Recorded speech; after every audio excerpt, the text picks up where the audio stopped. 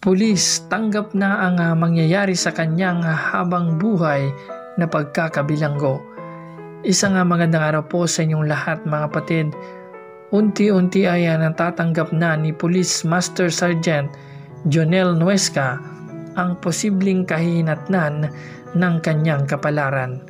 Matapos makausap eksklusibo ng mga matataas na opisyal ng kapulisan kung saan na pansamantalang nakapiit ngayon sa Paniki Tarlac.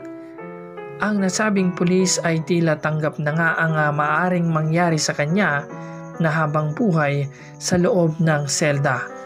Katunayan ay uh, pinagbilin ang kanyang pamilya lalong-lalo na ang kanyang anak at aminado nga sising-sisi sa kanyang nagawa. Narito ang kanyang pahayag.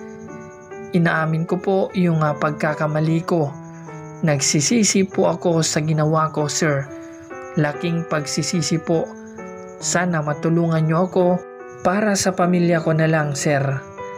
Aminado naman ang uh, mga opisyal ng pulis na hindi magiging madali at napakahirap tanggapin ang ginawa ng kanilang kabaro. Sabi nga nila, lahat ng tao galit sa'yo yan ang pagsisihan mo. Wala ka ng kakampi. Sinira mo ang uh, buong uh, ah, PNP sa ginawa mo. Hindi mo inisip ang anak mo paano ang kakainin niya ngayon. Paano ang pag-aaral kung matatanggal ka na sa serbisyo at habang buhay ka nang makukulong.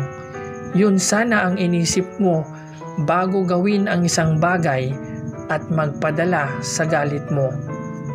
Ito ang mga naging uh, pahayag ng kapwa pulis matapos siyang uh, bisitahin at uh, kausapin.